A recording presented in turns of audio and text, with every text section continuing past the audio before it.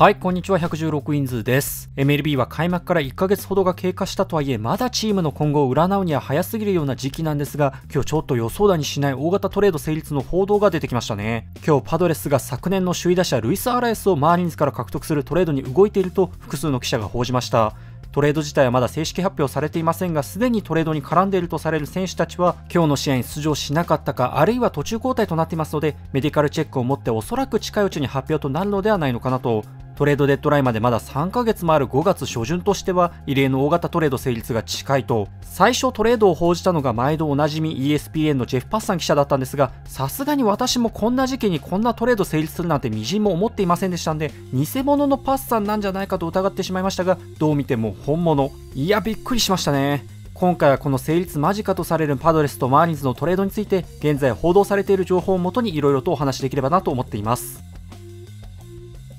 現在報道されているトレードの全容がこちらとなります。パドレスがマーリンズからアラエスを獲得し、マーリンズは見返りとして4人の選手を獲得。メジャー1年目の韓国人リリーバーのコ・ウソク、昨年のドラフト1巡目指名で MLB.com のランキングでパドレス傘下6位に入っている19歳の外野手ディロンヘッド、同じく傘下9位の外野手ジェイコブ・マーシー、そして傘下13位のファーストネイサン・マルトレラの4人となります。トレードのファーストインプレッションとしてはパドレスが早くも打線補強に動いてきた格好で現状パドレス打線は想像以上の出来であるもののそこにさらに昨年の首位打者アラエスを加えることで打線の厚みを増し地区上位を本気で狙いに行く姿勢である。ことをより明確にしたのかなと一方でマーリンズは今季開幕から大きく出遅れてしまい早くもプレーオフ進出がだいぶ厳しそうな中で早々に白旗を上げチームの解体をスタート年俸も上がってきているアラエスはどちらにしてもコンフトレードの可能性が高かったと思われますので、今季を諦めるつもりなのであれば、トレードデッドラインまで粘ることなくバリューが高いうちに放出してしまいたかった、そんなところでしょうか？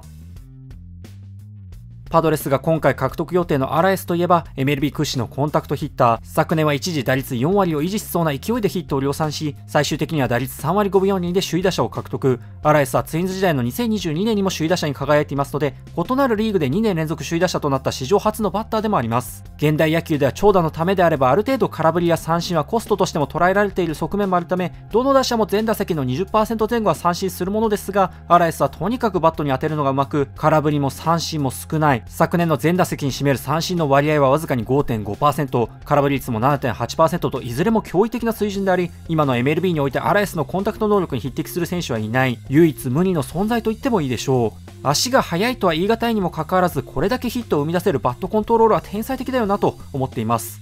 今季は開幕して1週間ちょっとくらいはらしくない感じでしたが、4月7日以降は打率3割3分7厘と本領発揮といったところで、現在のシーズン打率が2割9分9厘、3年連続の首位打者も決して夢物語ではないでしょう。で、パドレスはそんなアラエスにかねてより興味があったとされます。ジアセチックのケンローゼンタール記者とデニス・リン記者によれば、パドレスはスプリングトレーニングの時点でアラエスと先発投手ヘスス・ルザルドの獲得を試みていたとされ、今回そのうちの一人であるアラエスの獲得を実現したことになります。パドレス打線はここまでジェイク・クローネンワースやジュリクソン・プロファーといった選手たちの想像以上の活躍などにも助けられ、得点数がリーグ2位、打率 OPS はともにリーグ5位と、攻撃面はチームの強みとも言える内容となっていまして、その中でサードの打力が物足りなかったところ、先月下旬から肘の怪我が癒えつつあるマニー・マチャドがサードの守備に徐々に戻るようになりまして、それまで主にマチャドが入っていた DH の枠を生かす余地が生まれました。ただ他方でその DH に入れそうな選手のうち、ウェイドやポーリーら4人の選手は DH として入るには攻撃面でやや物足りなさもあり、現地5月2日時点で4人合わせて打率が2割3分5厘、WRC プラスも92、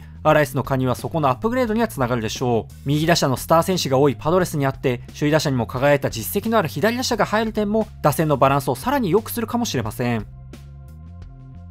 そういうわけでアライスの加入はパドレス打線にとって当然プラスになるとは考えていますが、気になるとしたらポジションの面でしょうか？アラエスはメジャーでのキャリアで最も多くの試合数を守った順に、セカンド、ファースト、サード、レフトとなりまして、セカンドをメインに一応複数ポジションを守れはするものの、どれもプラスを稼げるほどではありません。またそもそもとしてパドレス野手陣は本来二遊間のクロネマスがなぜかファーストを守ったり、タティースやメリルが外野を守っているような二遊間タイプが大渋滞しているようなチームなわけで、そこにさらにまたポジションが似ているアラエスを入れたのは、なんというかフィットするのかと思う部分もありますし、AJ プレラー GM は本当にこの手のタイプの選手が好きだなと思う部分もまたあったりと、おそらくですが、アレースは DH を中心に内外野の休養日に合わせていろいろなポジションを守ることになるでしょうが、DH がメインとなると、ここ2年間くらいのバッティングでないと割に合わないと思いますので、移籍後はさらにギアを上げてもらいたいところですかね。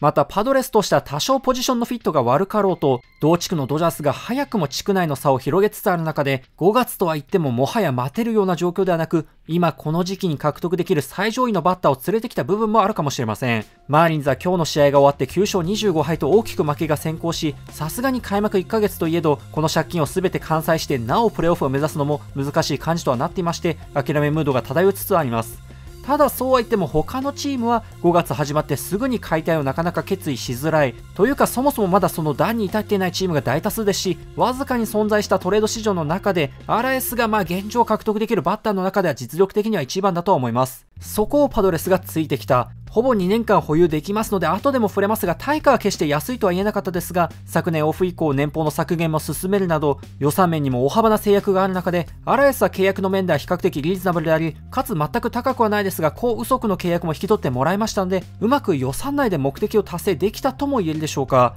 あとはアラエスがちゃんとチームにフィットするかどうかです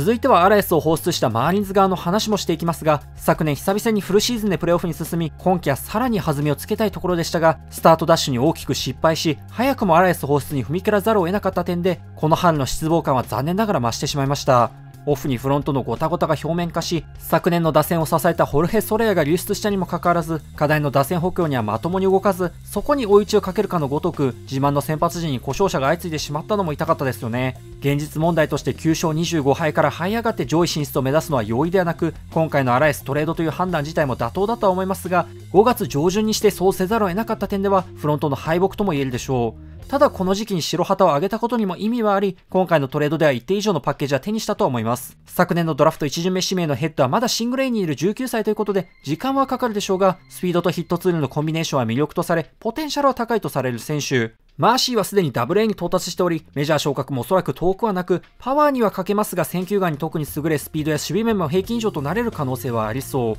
う。同じく WA のマルトレラは今季好スタートを切っており、ポジションは限られそうですが、パワーと選球眼に強みのある選手。アライスはもともとは怪我も少なくはない選手ですし、その選手のバリューを失ってしまう前に、比較的層が厚いとされるパドレス参加のトップ10前後の選手を3人手にできる点では、マーリンズのマイナーデプスをより強化できたと言えるでしょうか。今回は異例の時期での大型トレードとなりましたが、あとはこの夏、さらにマーリンズはどう動いてくるのか、おそらくアラエスだけで終わりではなく、チームがこの調子ですとトレードデッドラインまでにまだまだ動いてくることでしょう。今季オフに FA となるタナスコットはまず動きそうですが、それに加えて予算面も厳しいチームですので、年俸調停でこれから年俸が上がっていくルザルドとかも、もちろん成績を戻す前提とはなりますが、トレードの可能性はありそうですよね。オフに編成トップに就任したピーター・ベンディックスは、これから自分が作りたいマーリンズを目指していくと思われますが、それがこの後の動きで徐々に見えてくるか、それがどんな形になるか、その点はこの後注目して見ていきたいなと思っています。ということで今回の動画は以上としたいと思います。今後ですね、メルビーに関する動画を上げていきますので、興味のある方はぜひチャンネル登録していただけると幸いです。それではご視聴ありがとうございました。